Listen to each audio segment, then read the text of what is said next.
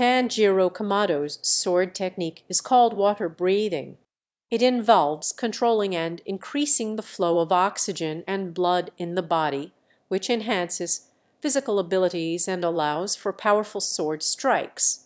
Each technique is named after a specific water related element and has its own unique form and effect.